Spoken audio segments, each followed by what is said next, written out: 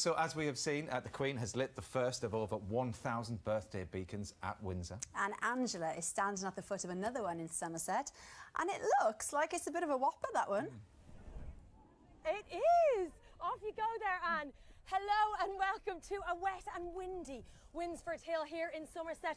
The wonderful Anne Labar, 93 years of age, is lighting that. Let's get away from that. That looks like it's taken